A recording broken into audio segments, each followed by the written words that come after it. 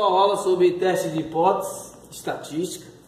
Nós vamos tratar sobre esse assunto, lembrando que a hipótese estatística é quando a gente tem uma hipótese sobre um parâmetro da população a partir da amostra. Então você cria uma hipótese sobre a média da população a partir de uma amostra. Será que essa, essa, esse valor encontrado é verdadeiro? Então, essa é a primeira questão que a gente tem que tratar. É a hipótese estatística. Por quê? Nós temos uma possibilidade de errar. O teste é exatamente isso. Nós temos uma regra de decisão que é apoiada numa hipótese principal, também chamada hipótese nula, e numa hipótese alternativa ou secundária.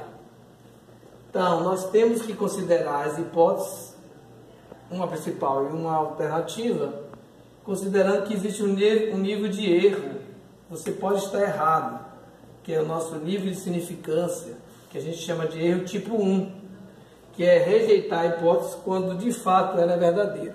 Em geral, a gente utiliza um nível de significância de 5%, é o mais usual na ciência. As etapas do teste estão aqui descritas. Nós temos que fazer a formulação das hipóteses, né? a principal e a secundária. Se o teste for bilateral, em geral, é igual, e unilateral a gente usa os sinais de desigualdade. O nível de significância seria a segunda etapa. Em geral, a gente considera 5% a chance de cometer o erro tipo 1. E a estatística do teste, a gente tem utilizado a distribuição normal, quando o teste tem uma amostra maior que 30, a gente vai usar o Z, e quando é menor que 30, a gente tem que usar o T-Student que é uma amostra menor. Lembrando que a gente vai estar considerando o sigma, já que se a gente desconhecer o sigma da população, a gente usa o desvio padrão da amostra. O passo 4 seria o valor crítico do teste. A gente vai ter que usar a tabela. Pode ser a tabela do Z ou a tabela do T, a depender do caso.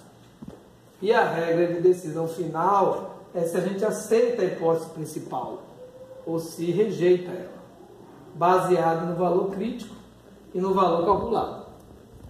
No final é importante a gente fazer a conclusão. O exemplo que a gente tem está relacionado a uma pesquisa sobre ansiedade. A gente tem 20 pacientes. Por aqui a gente sabe que N é menor que 30, vou ter que usar o teste T-Student. Os dados que a gente encontrou foram 10,8 para a média e o desvio padrão desse grupo foi 2 pontos. Os estudos têm apontado, de forma mais geral, que a média é 10 pontos para um grupo de pessoas com ansiedade. Será que essa medicação que está aqui realmente está de acordo com, as, com a média esperada nos estudos? Observe que eles tomaram uma nova medicação e foram sujeitos a esse teste. Será que esse remédio está de acordo com os testes, com a maioria dos estudos? Vamos fazer esse teste com nível de significância de 5%, que é o mais comum.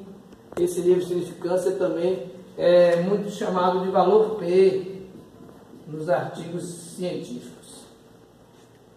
Vamos aqui os resultados.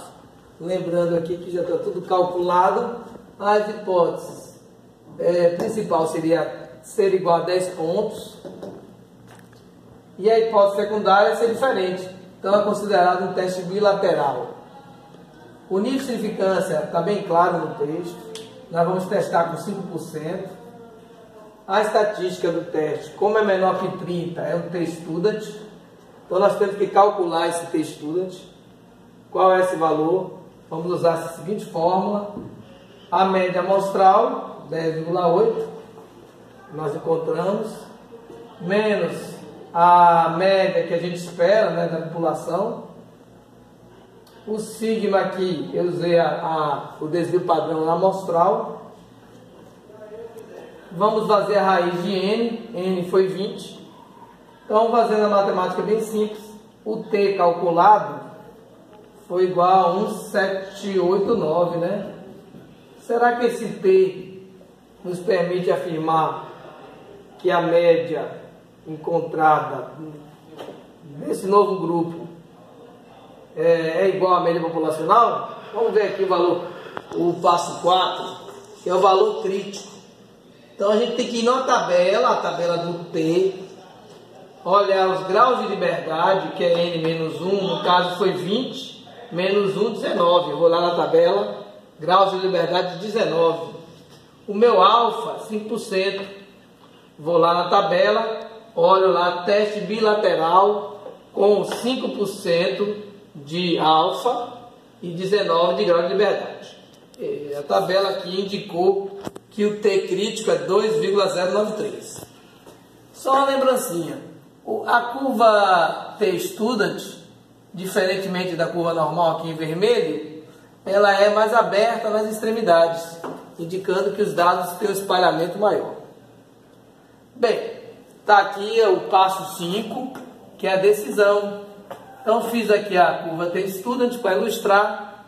O nosso T crítico é 2,093. Após disso, rejeita CHO. Entre esses valores aqui, aceitas. No caso, o nosso T calculado, que a gente calculou anteriormente, 1789. Caiu na região de aceitação, né? como 1,789 é menor que 2,093, não rejeita CHO, aceita CHO. Finalizando, a conclusão é que aceita essa hipótese principal, logo, a média do grupo pesquisado é igual à média indicada pelos estudos com nível de confiança de 95%. Então a gente pode dizer que esse grupo, após essa medicação, está atingindo um nível de ansiedade esperado através dos estudos feitos de forma mais geral para os, para pesquisadores. Então a gente consegue assim fazer o teste, verificando que aquela medicação é, tem uma média igual à média esperada pela população. Obrigado.